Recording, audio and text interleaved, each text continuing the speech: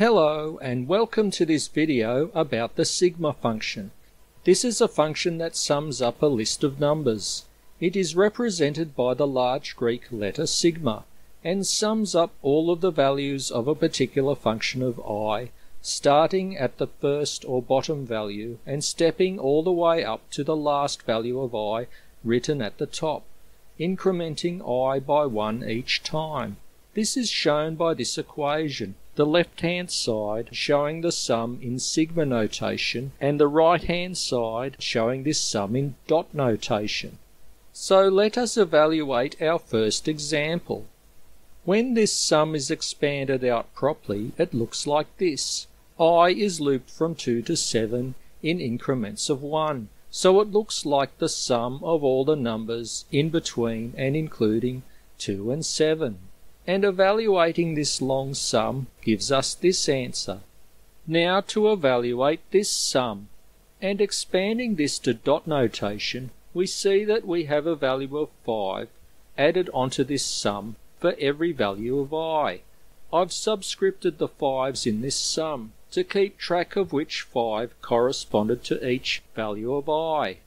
So now I've expanded out this sum of 5's to full expanded notation, and I've subscripted each 5 to be labelled with the value of i that it corresponded to. And counting up the number of 5's, we see that there are 11, so this expanded expression can be rewritten as 11 times 5. Evaluating this expression gives us this number as the final answer, so we've successfully evaluated this sigma expression. Now to find a more general way of evaluating a sum in sigma notation. We'll use these variables so that we can substitute any number into a simple expression. We can rewrite this sigma expression in dot notation, labeling each c by its corresponding value of i, which doesn't change the value of c. We can then get this simple expression for the sum since there were b minus a plus 1 c's in the sum. We can use this formula to solve these sorts of expression much more quickly. Now to evaluate this expression, which is a bit more complicated. When we expand it out, we get this sum of numbers. We don't need to label these numbers because the value of i is already found in the expression itself. We can then evaluate all of the terms of this sum and we can finally evaluate the answer to this expression as a number. Now to evaluate this expression. It looks like it probably isn't going to be an integer, although it might be one. After fully expanding this expression, we get this sum of fractions. Evaluating this expression gives us this fraction, which isn't an integer and this is what the answer is as a decimal number. Now to find what expressions are in sigma notation from expressions that aren't. What is this dot notation expression in sigma notation? This is what it is in sigma notation. You can see that all of the values of f are summed together from i is equal to 5 to i is equal to 68. Now what is this dot notation expression in sigma notation?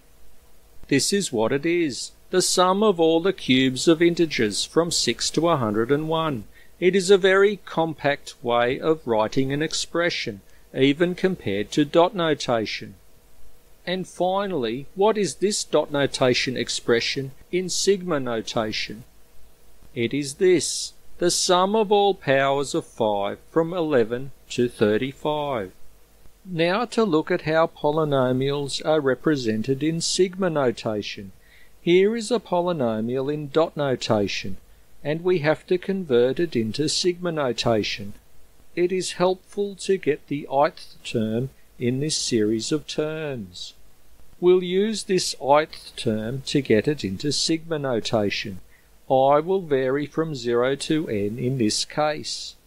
Now to get the first derivative of a polynomial in sigma notation.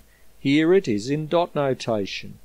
And like before, it is very helpful to get the ith term in this series.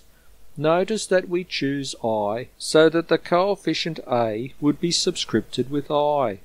This is so that when we insert it into the sigma function, we can vary i from 1 to n, like it varies with the coefficients a. If we would have made a equal to the indice of x, we couldn't have easily have calculated the upper and lower bounds of this sum. Now this is what the integral or antiderivative of this function is in dot notation, and we have to find it in sigma notation we find the ith term so that the coefficient a is subscripted with i. And so then we can use this ith term to pack up this polynomial into this sigma notation with the same upper and lower bounds as the coefficients have. This is the second derivative of the polynomial that we started with. We'll get the ith term in this series and we'll pack it up into this sigma notation using the same bounds as A has. We can have two sigma symbols together so that we can sum over two variables, in this case i and j. This is a double summation. They come in useful, especially in matrix algebra and with polynomials. Here is an example of a double sum we have to get this into dot notation. Summing the first variable j gives us this sum, which we still have to sum with the second variable i. So this is the answer in dot notation, the product of two sums. Now to evaluate this double sum. We firstly have to evaluate the first sum, which is six sevens added together. I've subscripted them to show which value of j they corresponded to.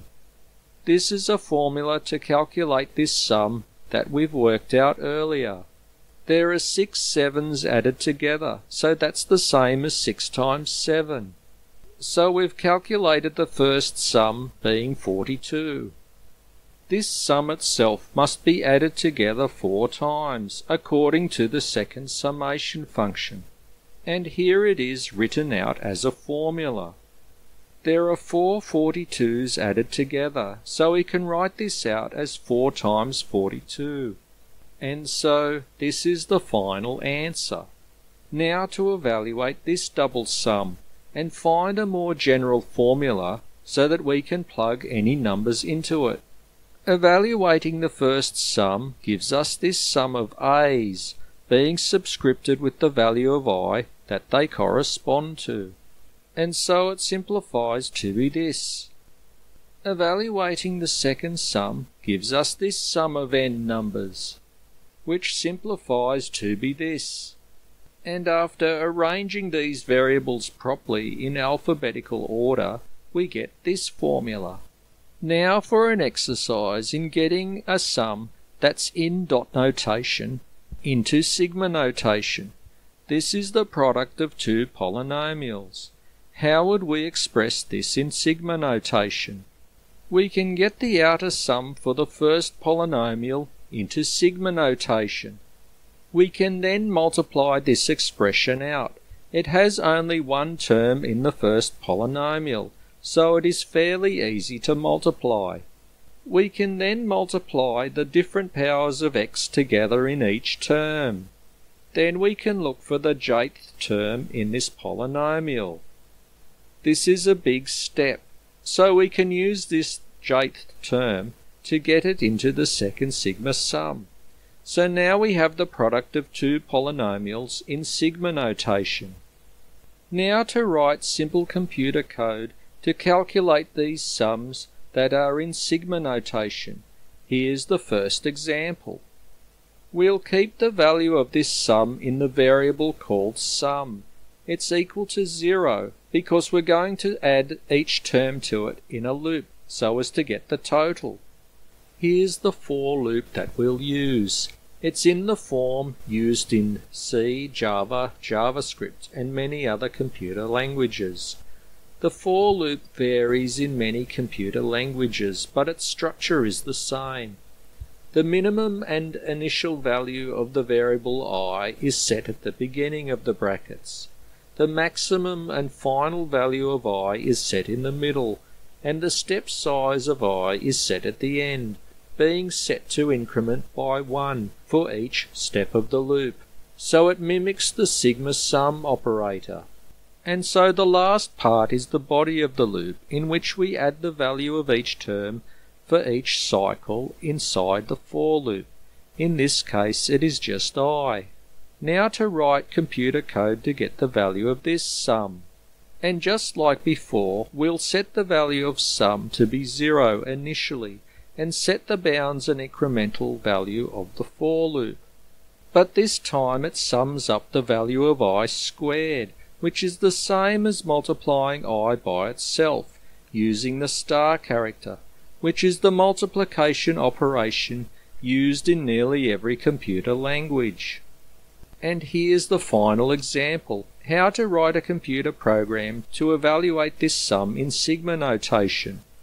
We'll set up the loop to go between the bounds of i and increment i by 1 each time it goes around the loop. And then we'll add 6 each time, which is the body of the sigma sum. So I hope that you have enjoyed this video and have learnt something from it.